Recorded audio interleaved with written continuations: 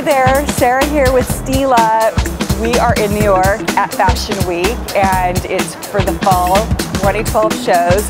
And the Stila Pro team is here and we are on our way backstage to Lela Rose at Lincoln Center. Cannot wait to show you the look. It's gorgeous. Stila came up with a gorgeous look using um, a beautiful foundation. Um, so skin is flawless as usual and there's a lot of focus and detail on the lip. So you're gonna see a dark, beautiful, kind of a Merlot lip.